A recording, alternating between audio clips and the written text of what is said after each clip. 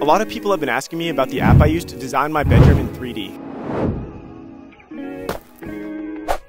It's called Interior Design for iPad. It's really old, and I'm not even sure if it's still on the App Store. I used it as a quick and easy way to model out the arrangement of my bedroom. But this app is so limited compared to other methods of recreating your space, so you can get a complete design of what you want your space to look like. There are beginner methods like this more current app, as well as intermediate and advanced 3D visualization methods in Blender.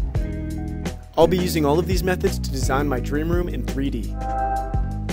In my past three videos, I've showed my basement setup briefly. I've built a bunch of different setups down here, pretty much changing things once every couple of months, like clockwork. This basement room holds a lot of great memories and has allowed me to experiment and learn about setup creation, interior design, and video production. But recently I moved my main setup to my bedroom to get more natural light when I'm working, so it's been a bit neglected down here. There's a lot of space down here to work with, so I want to transform this room into my dream room that I can use for gaming and productivity and use as a YouTube studio.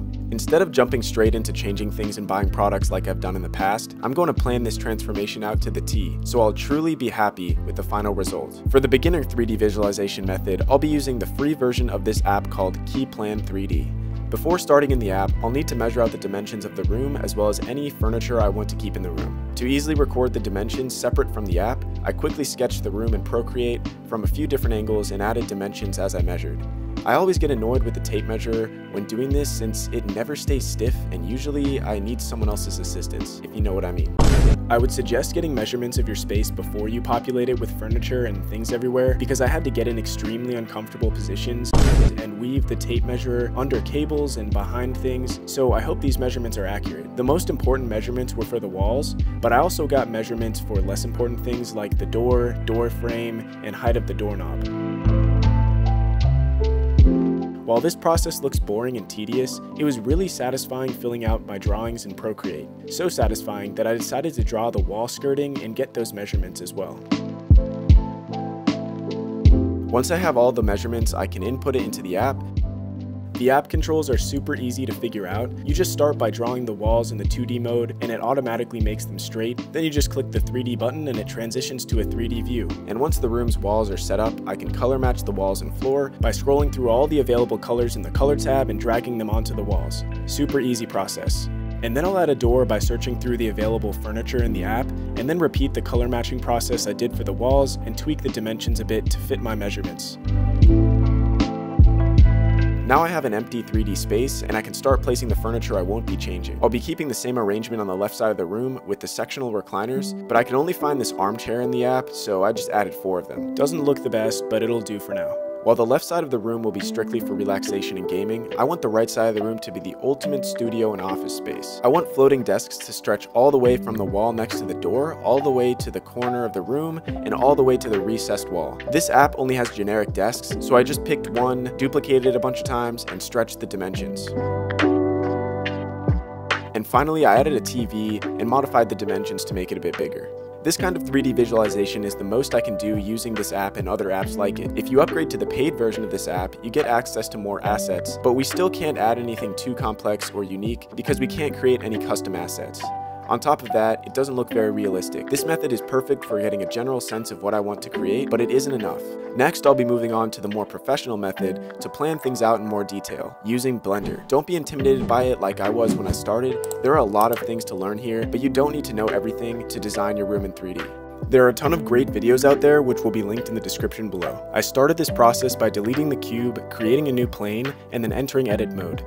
First, I scaled the plane and extruded the top face up to make it 3D. Then I extruded the side faces out, adding one foot to account for the walls. In that extra one foot, I extruded up to create the surrounding walls. I made sure to separate the walls so I can hide and unhide half the walls to take a peek inside. Next, I went on the hunt for some free assets online to see what I could find, starting general and then getting more specific. Wasn't finding anything I liked on this website, so I tried a different one and came across a Blender add-on called Blender Kit. Add-ons can be accessed directly in Blender instead of downloading and importing separately. I installed the add-on, searched for some assets, and found this carpet asset. So I added it to the model and then began modifying it to fill up the floor of the room. I scaled it in the X and Y directions to get it to fit, and then I deleted a portion in the back corner. Next, I moved to the shading tab and started adding materials to the walls and carpet. Materials are very customizable, but I just used a simple Principled BSDF node with a single base color. Then I started trying to create the wall skirting, and I say trying because I absolutely failed at this. My goal was to apply loop cuts to the walls so I could extrude a small strip at the bottom, but no matter what I did, the loop cuts didn't come out right, so it got me looking for another solution. And I found this add-on called CAD Sketcher that allows me to sketch on a plane and extrude it from there. So I downloaded it, watched a quick tutorial, and redid everything I've done up until this point. Since I have previous experience with CAD, this method felt a lot more natural to me, and I was able to create the floor and two separate walls much faster this time. And once everything was back to what I had before, I added a couch and moved it into place to see what it would look like. As you can see, I already designed the wall skirting, but I forgot to record it. I created one segment as its own object, not directly connected to the wall, then duplicated it, rotated, and stretched it into place for the other ones. Next, I went on the hunt for more free assets to fill out the room, but wasn't finding a lot, so I considered upgrading to the paid version of BlenderKit. I didn't do it, and instead I just downloaded assets and then only kept parts of the assets I liked, or modified the assets to get what I want.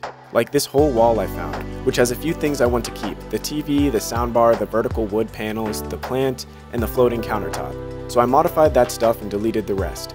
Then I found a really realistic PS5, so I added that, and then I added some controllers too. To finish off the area, I added these two plants and moved them into place to keep it symmetric. Wasn't feeling the bigger plant though, so I hid it for now. Then I came across a more realistic carpet, since the carpet in my basement isn't one perfect color. I repeated the same process as before, and I think it came out looking great. Now it was time to create the floating desk, so I hopped in CAD Sketcher, drew it out, and then extruded it. I moved it into place and stretched the faces on the corners to have it stretch the entire length of the wall. And then I found an ultra-wide monitor and a cool wall-mounted PC, and then finally I set the material for the floating desk. Alright, so now we have a more realistic version of my basement, similar to what we had in the app. Yo! Bro, what do you want? Come hang, bro. I'm, I'm kinda busy, man. But nature is calling you, man. Alright, fine. Oh, no way, you're here, bro. Oh, but you brought more technology? Oh, that's actually pretty sick, man. what a loser. It's all good, I fixed that. Fixed it.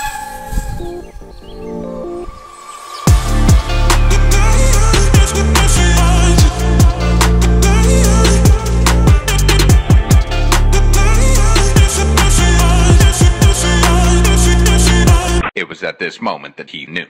He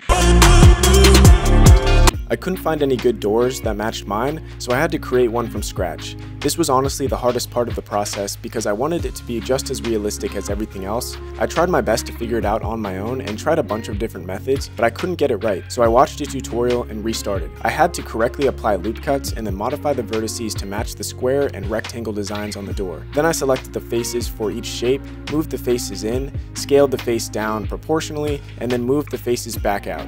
Then I duplicated the finished door and moved moved both into place. After that, I searched for a similar door handle, found a great match, and added it. Then I had to create a door frame, similar to how I created the wall skirting, and I also took some door hinges from a different model and applied the same material as the door handle. It wasn't perfect, but I think it looked pretty good.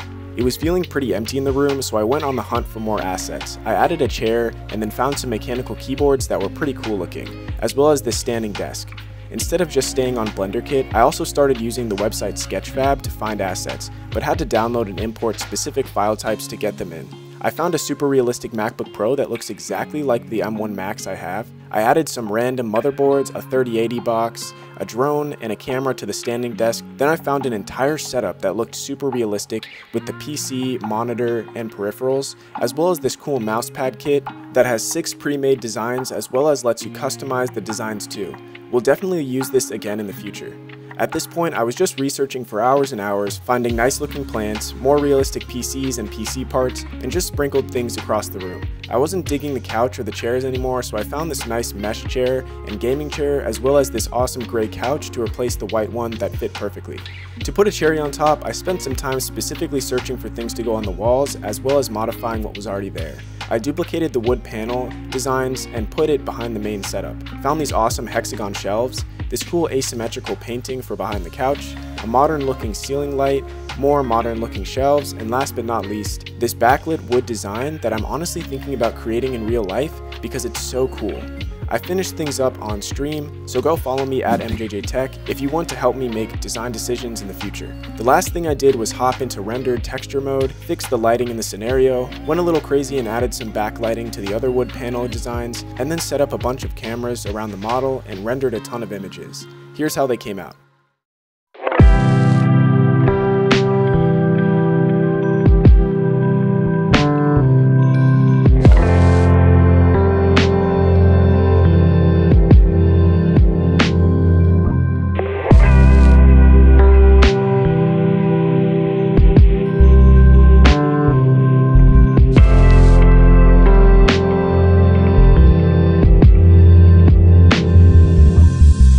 This basement room transformation is still very much in progress, but the purpose of this video was to show what's possible with different 3D visualization methods. I've set up a detailed process for myself to go from idea to execution in Blender, and can only improve from here. Follow my socials to stay up to date with the basement transformation, and I hope I've given you some inspiration for your own room transformations. See ya!